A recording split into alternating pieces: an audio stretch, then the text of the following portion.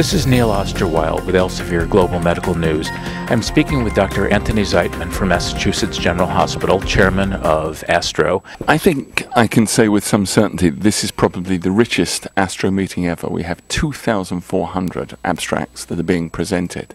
The theme is a very clear one. The theme is uh, we have all this technology, this wonderful, wonderful technology. Uh, what is its value? So, um, many of the best studies have really looked at patient outcomes as a result of new technologies. And we're trying to ask ourselves the question had, has all this complexity moved us forward? And I think the answer is generally yes, not always, of course.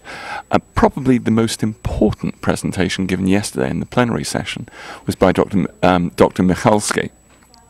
He looked um, at a uh, an RTOG trial of men treated with high dose radiation for prostate cancer, some of whom were treated with the more traditional technique of 3D conformal radiation, and the others were treated with intensity modulated radiation therapy, IMRT.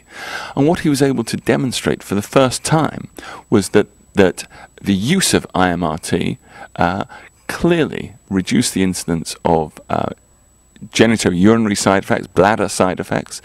And in, in a secondary study uh, done by um, uh, Dr. Bruner, uh, she pointed out that men who are treated for their prostate cancer with IMRT are more likely to keep their erections.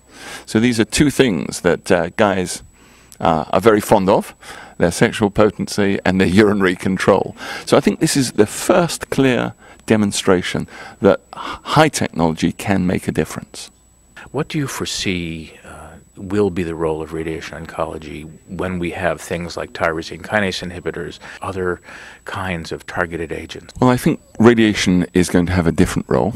I must point out that radiation, of course, is the original targeted therapy. It's radiographically targeted towards the tumor. What we're talking about now are molecularly targeted therapies. Um, I believe that the molecular targeted therapies will add to the portfolio of systemic therapies. I hope that they will increase our rate of eradication of cancers. But the molecular targeted therapies are like other drugs. They have problems with access to tumors where the blood supply may, may be very poor.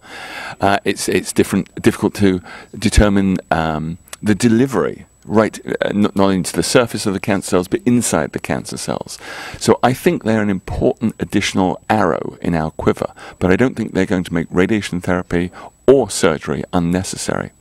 I will add that they do um, open up a whole new avenue.